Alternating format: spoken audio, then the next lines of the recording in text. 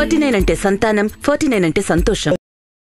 Welcome to I dream ఆంధ్రప్రదేశ్లో పొత్తులపైన చర్చలు మొదలయ్యాయి. తెలుగుదేశం పార్టీ అధినేత చంద్రబాబు బీజేపీ కేంద్ర హోంశాఖ మంత్రి అమిత్ షాని కలిసిన తర్వాత బీజేపీ టీడీపీ మధ్య పొత్తులు కుదిరాయని చెప్పేసి తెలుగు తలుములు ప్రచారం మొదలుపెట్టారు. సీట్ల పంపిణీ ఇక మిగిలింది అంటున్నారు. నిజంగా పొత్తుల వ్యవహారం ఒక కొలికి వచ్చిందా? బీజేపీతో టీడీపీతో పొత్తు పెట్టుకునేందుకు ఆంధ్రప్రదేశ్ బీజేపీ సిద్ధంగా ఉందా? ఈ అంశంపై మనతో మాట్లాడడానికి ఆంధ్రప్రదేశ్ బీజేపీ అధికార ప్రతినిధి పూడి తిరుపతిరావు మనకు జూమ్ లైన్లో అందుబాటులో ఉన్నారు. నమస్కారం సార్. అందరికీ నమస్కారం అండి. సార్ ఏంటి సార్? చంద్రబాబు ఒక్కసారి అమిత్ షాతో భేటీ అయిపోగానే పొత్తులని సెటరేట్ అయిపోయాయని చెప్పేసి వార్తలు వస్తున్నాయి. తెలుగు తెలుగు తమ్ములు బీభత్సంగా ప్రచారం చేస్తున్నారు. ఇందులో వాస్తవం ఉందా? ముందుగా ఒకటైతే వాస్తవం. ఐదు సంవత్సరాల తర్వాత అమిత్ షా గారిని కలవటానికి చంద్రబాబు నాయుడు గారి బృందానికి ఒక అవకాశం దొరకడం వాస్తవం. సరే దొరికినటువంటి అవకాశాన్ని వినియోగించుకోవడంలో ఎవరికి నచ్చిన విధంగా వారు దాన్ని అన్వయించుకుంటున్నారు? అంటే వినియోగించుకోవడానికి ఆ విధంగా అన్వయించుకుంటున్నారు అనేది మా భావన. ఎందుకంటే నా వరకు అయితే రాష్ట్ర అధికార ప్రతినిధిగా రాష్ట్ర శాఖ నుండి వచ్చినటువంటి ఆదేశాల మేరకే మీతో నేను ఏదైనా ముచ్చటించగలను అవును. రాష్ట్ర శాఖ నాకు ఆదేశాలు ఎప్పుడు ఇస్తుంది అనేసి అంటే మా కేంద్ర పార్టీ ఆదేశాలకి రాష్ట్ర శాఖ వచ్చిన తర్వాత మాత్రమే మాకు ఇవ్వగలుగుతుంది అన్నమాట అది ప్రాంతీయ పార్టీల్లో ఆ బాధ లేదు. తెలుగుదేశం పార్టీ పేరుకు జాతీయ పార్టీ కానీ అది ప్రాంతీయ పార్టీ జాతీయ అధ్యక్షుడు అంటారు రాష్ట్ర అధ్యక్షుడు అంటారు కానీ అది ప్రాంతీయ పార్టీయే కాబట్టి వాళ్ళకి ఏది ఏదైనా మాట్లాడే స్వేచ్ఛ ఉండొచ్చు. బహుశా ఆ నేపథ్యంలోనే ఇప్పుడు మూడు రోజులుగా వారు కలిసి అమిత్ షా గారిని ఐదు సంవత్సరాల తర్వాత కలిసినటువంటి సందర్భం అయ్యి నాలుగు రోజులు ఇవాళ నాలుగో రోజు. అవును. నాలుగు రోజులుగా రకరకాల పరిణామాలు సోషల్ మీడియాలో మొదట సీట్ల పంపిణీ అయిపోయింది అంటున్నారు సార్. సీట్ల పంపిణీ కూడా అయిపోయింది అంటున్నారు అదే అదే అదే I'm coming to that point sir ఏదైతే మొన్న ప్రారంభమైంది సోషల్ మీడియా ఆధారంగా ప్రచారం. నిన్న మెయిన్ స్ట్రీమ్ మీడియాకి వచ్చేసింది. అది దాంట్లో ముందుగా నేను మీతో షేర్ చేసుకుంటున్నాను నా- సంతోషం అని చెప్పేసి నేను కాదు కానీ ఏదైతే లిస్ట్ బయటకు వచ్చిందో ఆ లిస్ట్లో నన్ను కూడా ఒక శాసన శాసనసభ్యుని చేసేసారు అంటే. ఇవ్వాల్సి- సీట్ ఇవ్వాల్సింది భారతీయ జనతా పార్టీ అది కూడా రాష్ట్ర శాఖ కాదు మాకు. కేంద్ర పార్టీ. కానీ ఇక్కడైతే నాకు శాసనసభ్యుని చేశారు అక్కడ. మా ప్రా- మా ప్రా రా- కేంద్ర పార్టీ సీట్ ఇవ్వాలి రాష్ట్ర పార్టీ ఆమోదం మేరకు. తర్వాత నేను ఎన్నికల్లో పోటీ చేయాలి అది పొత్తులోనా పొత్తు లేకుండా అనేది అది వేరే విషయం మళ్ళా. అందులో. కూడా ఓట్లు ఎక్కువ తెచ్చుకొని గెలవాల్సినటువంటి స్థితి ఇది కూడా ఎన్నికల తర్వాత ఎన్నికలు అయిన తర్వాత.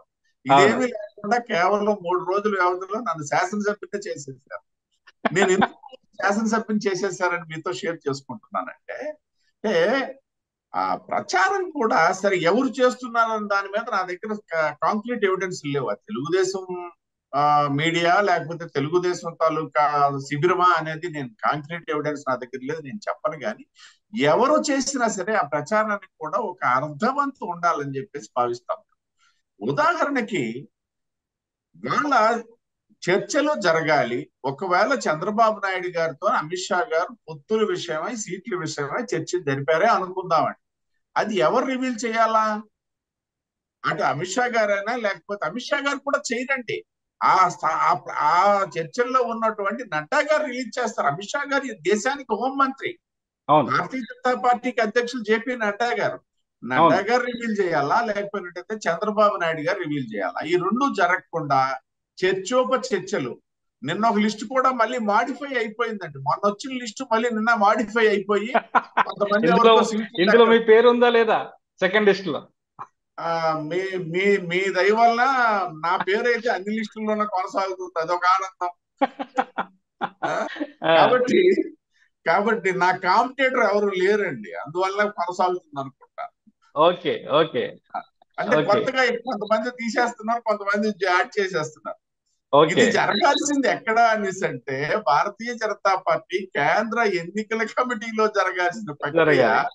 మీ ముందు. నా ముందు కూడా జరిగిపోతుంది ఇది విచిత్రమైనటువంటి పరిస్థితి ఏ. పార్టీ తాలూకా పరిస్థితి అనేసి అంటే ప్రపంచంలోనే అతి పెద్ద ప్రజాస్వామ్య పార్టీ భారతీయ జనతా పార్టీ అతి పెద్ద ప్రజాస్వామ్యానికి తొమ్మిది సంవత్సరాలుగా నిరంతరం నరేంద్ర మోడీ గారి లాంటి విశ్వ విఖ్యాతిగాంచినటువంటి ప్రధానమంత్రి ఆధ్వర్యంలో నడుపుతున్నటువంటి పార్టీకి వీళ్ళందరూ ఎమ్మెల్యేలు ఎంపీలు చేసేస్తున్నారు. ఎవరు నా పేరేం పెట్టలేదని అడుగుతున్నారో మొదటి నుంచి మొదటి మొదటి నుంచి టీడీపీ ఇలాంటి ప్రయత్నాలు చేస్తుంది? టీడీపీకి అనుకూలంగా ఉండే మీడియా ఇటువంటి వార్తలే రాస్తుంది. చాలా విషయాలు మీకు ఇంకొక విషయాన్ని గుర్తు చేయదలుచుకున్నాను. పవన్ కళ్యాణ్ విషయంలో కూడా ఒక గత కొంతకాలంగా ఒక ఆరు నెలల కాలంగా పవన్ కళ్యాణ్తో పొత్తులు కుదిరిపోయాయి. పవన్ కళ్యాణ్ మేము చెప్పింది వింటాడు. పవన్ కళ్యాణ్ మేము ఇచ్చిన సీట్లలోనే పోటీ చేయాలి. పవన్ కళ్యాణ్ చంద్రబాబునే ముఖ్యమంత్రి చేస్తాడు. ఇదంతా చాలా స్పష్టంగా టీడీపీ వాళ్ళు వాళ్ళ ఐటీడీపీ వంటి సోషల్ మీడియా వేదికల పైన కూడా చాలా స్పష్టంగా చెప్తున్నారు. ఇదంతా బీజేపీ ఎలా తీసుకుంటుంది? బీజేపీ ఎలా పరిగణనలోకి తీసుకునే అవకాశం ఉంది? ఒక్క విషయం అండి. మీరు చెప్పినటువంటి వాస్తవాలతో పాటు నేను కూడా కొన్ని యాడ్ చేస్తాను. ఉదాహరణకి పవన్ కళ్యాణ్ గారు బీజేపీని విడిచిపెట్టేస్తున్నారు అన్నటువంటి ప్రచారం కూడా మధ్యలో జరిగింది. తెలుగుదేశంతో పార్టీ ఆయన ఏం చెప్పాడు? వైసీపీ వ్యతిరేక ఓటు చీలకుండా చూస్తానన్నటువంటి మాట మాట్లాడిన నుండి బీజేపీని వదిలేస్తారన్నటువంటి ప్రచారం కూడా చేశారు. దేనికి కూడా మేము ఒకటే చెప్తున్నాము. మేము ఒక స్థిరమైనటువంటి విధానంతో రాజకీయం చేసే పార్టీ భారతీయ జనతా పార్టీ. ఈ పార్టీని అస్థిరత్వం పాలు చేయడానికి చేస్తున్నటువంటి కుట్రలను ఛేదించడంలో కూడా భారతీయ జనతా పార్టీ ఏమి వెనకడుగు వేయదు. అదే సందర్భంలో ఏదన్నా అంటే ఇది తెలుగుదేశం పార్టీయే ఈ ప్రచారం చేస్తున్నటువంటి చేస్తున్నది అనడానికి నా దగ్గర కాంక్రీట్ ఎవిడెన్స్ లేదు. నేను ముందుగా చెప్తున్నా. ఒకవేళ తెలుగుదేశం పార్టీయే అటువంటి ప్రయత్నం చేసి వారి మీడియా ఆధారంగా అనేసి అంటే నేను main stream media Telugu Desam party తాలూకు మెయిన్ స్ట్రీమ్ మీడియాలో ఇవేవి వచ్చినటువంటి ఆధారాలు కూడా మన వద్ద లేవు. ఓకే. నాకు తెలిసి ఇప్పటి వరకు న్యూట్రల్గా ఉన్నటువంటి కొన్ని ఛానల్స్లోనే వస్తున్నాయి అనేది నా దగ్గర ఉన్నటువంటి సమాచారం. మరి మీ దగ్గర మోర్ దాన్ ఏమైనా ఉంటే నేను చెప్పలేను కాబట్టి ఈ నేపథ్యంలో ఒకవేళ ఈ ఊహాగానాలే నిజమయ్యి భారతీయ జనతా పార్టీని ఎమోషనల్గా లొంగ తీసుకో బ్లాక్ మెయిల్ అనే పదం నేను వాడినండి. అది మా డిక్షనరీలోనే లేదనమాట. ఎమోషనల్గా లొంగ తీసుకోవాలి అన్నటువంటి ఆలోచనతో ఏదైనా జరిగినా కూడా ఆ జ- ఏమైనా జరుగుతున్నా కూడా అవి ఇక్కడ జరిగే పని కాదు. ఇది మోడీ అమిత్ షా గారి యుగము. అప్పుడెప్పుడో జరిగింది కాదు. తిరుపతిరావు గారు మనం ఒక విషయాన్ని చాలా ఒకసారి మళ్ళీ గుర్తు చేసుకోవాల్సిన అవసరం ఉంది ఇక్కడ. రెండు వేల పద్నాలుగులో తెలుగుదేశం పార్టీ బీజేపీ కలిసి ఎన్నికలకు వెళ్ళాయి. రెండు వేల పద్నాలుగులో బయట నుంచి ఇప్పుడు మీ పొత్తులో ఉన్న పవన్ కళ్యాణ్ మీ కూటమికి మద్దతు ఇచ్చారు రెండు వేల పద్నాలుగు ఎన్నికల తర్వాత అధికారాన్ని పూర్తిగా అనుభవించిన తర్వాత బీజేపీని వ్యూహాత్మకంగా టీడీపీ దూరం చేసింది. తమ పైన ప్రత్యేక హోదా విషయంలో తమ పైన పడ్డ ముద్రను చెరుపుకోవడానికి బీజేపీని బద్నాం చేసింది. మోదీని వ్యతిరేకిస్తూ మోదీపై విమర్శలు చేస్తూ చంద్రబాబు ఎన్నికలకు వెళ్ళారు ఇవన్నింటి మీరు మర్చిపోతారా? మళ్ళీ చంద్రబాబు వచ్చి మిమ్మల్ని పొత్తడగానే ఖచ్చితంగా మర్చిపోతామండి. కానీ మీరు ప్రస్తావించినటువంటి అంశాలకి అదనంగా రెండు అంశాలు ఉన్నాయి ఆ రెండు అంశాలని నాలాంటి కరుడు కట్టినటువంటి భారతీయ జనతా పార్టీ కార్యకర్తలు మర్చిపోయే ప్రస్తావనే లేదు. ఆ నేపథ్యంలోనే ఏవైనా ఆటంకాలు ఉంటే కూడా ఉంటాయి. మీరు చెప్పినవన్నీ మర్చిపోవడానికి అవకాశం ఉన్నవే. ఉదాహరణ చెప్తాను. మా ప్రధానమంత్రి గారిని వ్యక్తిగతంగా దూషించినటువంటి సందర్భం. మా అమిత్ షా గారు తిరుపతి దర్శనానికి ఆయన ఏమి ఎన్నికల ప్రస్తావనకు రాలా? దర్శనానికి వచ్చి కొండ దిగుతుంటే ఆయనకి చేసినటువంటి యాగి. ఇవన్నీ మీరు చెప్పినటువంటి వాటితో అదనంగా నేను యాడ్ చేస్తా. అవన్నీ కూడా రాజకీయాల్లో సహజమే అంటాను నేను. ఎందుకనేసి అంటే రాజకీయ క్షేత్రంలో మనం చూస్తున్నాం మా దగ్గరే కాదు ఇంకా ఇతరత్రాల దగ్గర.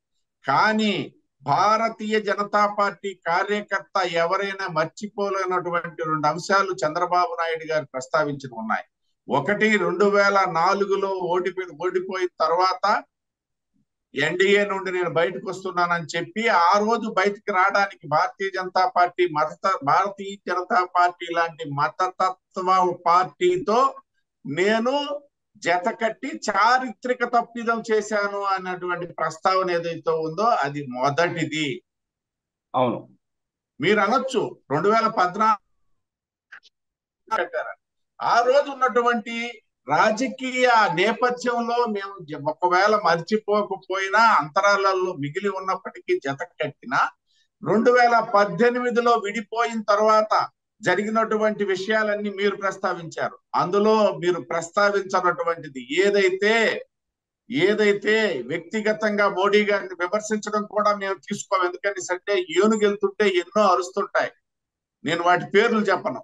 ఏనుగు ఏనుగే. ఇవాళ మోడీ గారు విశ్వవిఖ్యాతిగాంచినటువంటి వ్యక్తి ఆయన ఆయన కోసం ఇలాంటి వాళ్ళు ఎవరో మాట్లాడితే మేము పట్టించుకోవాల్సిన పని లేదు. ఆయన అంతకంటే పట్టించుకోరు అతీతుడు ఆయన.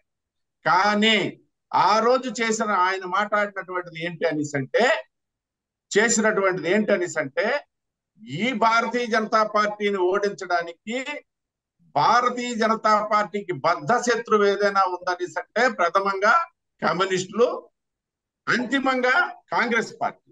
ఆ కాంగ్రెస్ పార్టీతో జత కట్టావు నీకు కాంగ్రెస్ పార్టీ తాలూకా వ్యతిరేక భావన వ్యతిరేక సిద్ధాంతంతో వచ్చినటువంటి పార్టీ తెలుగుదేశం పార్టీ.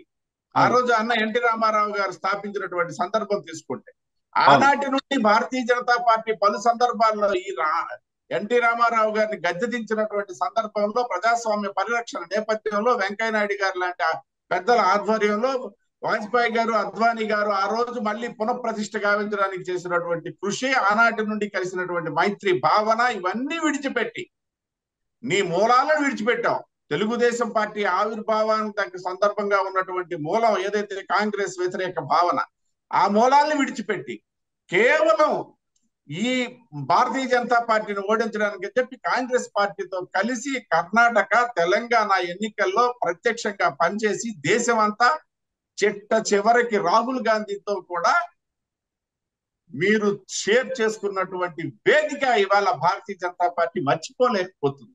ఇది మొన్నటి కర్ణాటక ఎన్నికల్లో కూడా తెలుగుదేశం పార్టీ ఇటువంటి ప్రయత్నమే చేసింది. కాంగ్రెస్ని గెలిపించడానికి లో లోపల టీడీపీ కార్యకర్తలు కానీ టీడీపీకి సంబంధించిన వ్యాపారవేత్తలు కానీ పనిచేశారు. మోదీ సౌత్ ఇండియాలో కేవలం టీడీపీ వైపే రావాలి టీడీపీ ని బతిమాలాలి అని ఒక కుట్ర జరిగింది అని ఒక ఆరోపణ కూడా ఉంది? వాస్తవం ఉందా లేదంటారా? వాస్తవము ఉంది అనుకొని కాసేపు మాట్లాడితే దాని గురించి పట్టించుకునే పరిస్థితి భారతీయ జనతా పార్టీకి అవసరం లేదని చెప్పి నేను ముందే చెప్పాను. అవేమి పట్టించుకోము మేము. ఎందుకంటే రాజకీయ క్షేత్రంలో ఇలాంటివన్నీ మేము ఫేస్ చేస్తాం సార్. మేము ఫేస్ చేసి వచ్చిన వాళ్ళం. పంతొమ్మిది వందల యాభై ఒకటిలో ప్రారంభమైన ప్రస్థానం జనసంఘగా మళ్ళీ జనతా పార్టీ ఆవిర్భావంలో తర్వాత భారతీయ జనతా పార్టీ ఇవాళ ప్రపంచంలోనే పెద్ద పార్టీ ఎలా కాగలిగావు ఇన్ని అనుభవాలు ఉన్నాయి మాకు. రాజకీయంగా ఎదుర్కోవడం రాజకీయ వ్యూహాలు ఎదుర్కోవడం మాకు కొత్త ఏం కాదు. మాకు పరాభవాలు కూడా మేము లెక్క చెయ్యం. కానీ మేము చెప్పినటువంటి ప్రధానమైనటువంటి కారణాలు ఆటంక ఇవాళ మా మనోభావాలు దెబ్బతిన్నటువంటి సందర్భాలే. కాబట్టి ఇవి రాజకీయం ఇది. ఎస్ ఇవాళ ఓడిపోయాము. మొన్న గత గత ఎన్నికల్లో కూడా మేము అక్కడ ఓడిపోయాం కదా. తర్వాత మళ్ళీ పార్లమెంట్ ఎన్నికల్లో మంచి మెజారిటీ సీట్లు మాకే వచ్చాయి. ఇవాళ కూడా అదే జరుగుతుంది అక్కడ. దాన్ని మేము పట్టించుకో ఇవాళ రేపు వస్తాం అధికారంలోకి. మేమేమో రాత్రి రాత్రి అధికారంలోకి వచ్చిన పార్టీ భారతీయ జనతా పార్టీ కాదు. లేకపోతే ఈ తిరుపతిరావు అనే వ్యక్తి నేను ఎమ్మెల్యే అవ్వాలనో ఎంపీ అవ్వాలనో లేకపోతే తెలుగుదేశం పార్టీ దయాదాక్షిణ్యాల మీద ఎంపీ అవ్వాలనో రాజకీయాల్లోకి వచ్చినటువంటి వ్యక్తి కాదు. ఒక పరంపరలో విద్యార్థి దశ నుండి వచ్చినటువంటి వ్యక్తులు ఇలాంటి నాలాంటి వ్యక్తులు లక్షలాది కోట్లాది మంది కార్యకర్తల బలంతో పెరిగినటువంటి మీలాంటి మీలాంటి బలమైన టీడీపీ బీజేపీ కార్యకర్తలు మీలాంటి ఆ సిద్ధాంతపరంగా బీజేపీలో కొనసాగే వ్యక్తులు పదే పదే మోసం చేస్తూ పదే పదే ఎజెండాను మారుస్తూ అవకాశవాదాన్ని ప్రదర్శిస్తూ వస్తున్న టీడీపీతో జతకట్టి పనిచేయడానికి అంగీకారం తెలుపుతారా? అంటే నేను ఇప్పటి వరకు చెప్పినటువంటి కోణం మీరు చెప్పినటువంటి కోణం. రాజకీయ క్షేత్రంలో రాజకీయ క్షేత్రంలో శత్రువు శత్రువు మిత్రుడవుతాడు అనే ఒక నానుడు ఉంది అల్టిమేట్గా మాకు శత్రువు తెలుగుదేశం పార్టీ కాదు. అదే ఇది అదేదో నేను రేపు మేము పొత్తులోకి వెళ్తామేమో ఇప్పటి వరకు వెళ్ళలేదు. వెళ్తామేమో లేకపోతే ఆ పొత్తులో నాకు సీట్ రాదేమో లేదా సీట్ ఇస్తే నన్ను ఓడించేస్తారేమో అన్నటువంటి భయం గాని ఆలోచన గాని తో నేను చెప్పట్లా. రాజకీయ క్షేత్రంలో శత్రువు శత్రువు మిత్రుడవుతాడు అనే నానుడు కూడా ఉదాహరణకి ఆ రోజు ఈ రాష్ట్రంలో కాంగ్రెస్ పార్టీని ఓడించాలి అనేసి అంటే తెలుగుదేశంతో కలిసి అంతే రాజకీయ క్షేత్రంలో అదొక ఈక్వేషన్ కూడా ఉందన్నమాట. ఆ. ఈక్వేషన్స్ నేపథ్యంలోనే రేపు ఏదన్నా జరిగితే అది కూడా మా కేంద్ర పార్టీ ఆమోదిస్తే జరుగుతుందేమో తప్పిస్తే జరిగేటప్పుడు ఖచ్చితంగా మేము కరడగట్టినటువంటి కార్యకర్తలుగా మా విధేంటి అనేసి అంటే పార్టీ ఏం చెప్తే అదే చేస్తాం అల్టిమేట్గా. మా మా మా సొంత నిర్ణయాలకి భారతీయ జనతా పార్టీలో ఎప్పుడూ ప్రాధాన్యత ఉండదు. ఈవెన్ ఇవాళ ఆ, మోడీ అమిత్ షా గారు లాంటి వాళ్ళైనా సరే ఉమ్మడి నిర్ణయాల ఆధారంగానే ముందుకు వెళ్ళే పరిస్థితి. కాబట్టి ఖచ్చితంగా అధిష్టానం తాలూకా ఆజ్ఞ ఆమోదిస్తాం. ఓకే తిరుపతిరావు గారు చాలా చక్కటి విషయాలు మాతో పంచుకున్నారు. ధన్యవాదాలండి.